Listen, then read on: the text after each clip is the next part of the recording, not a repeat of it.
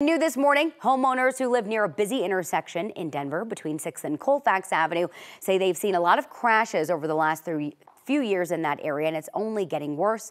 This morning, 9 News reporter Brianna Fernandez, Fernandez is live along 10th and Lipan and Brianna. Neighbors in that area are seeing some other problems as well. Yeah, and two of those problems, Erica, include either people speeding down 10th and Lipan or ignoring the stop signs. We actually just noticed that about two minutes ago, right before I went live on air. Now, when I spoke to neighbors who have been living here in this area since the 90s, they say that they have seen tons of crashes for years. Some of those crashes have even damaged their property. Take a listen. It's exhausting though. But when it happens all the time, it just mentally and emotionally, just always seeing people hurt in front of your house, for something that's so easily avoidable. It's exhausting. It's exhausting.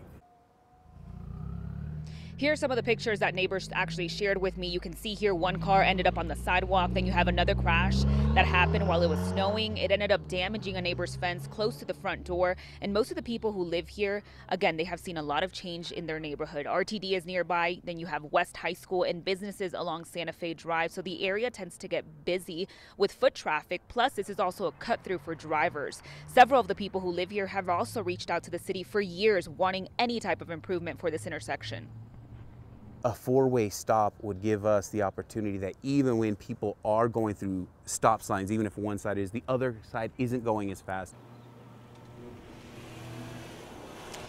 Now, according to the city, there have been no fatal crashes at this intersection, but there have been zero to two crashes per year from 2019 to 2023. Then you have five crashes since October of 2023, and then two that happened in June of this year.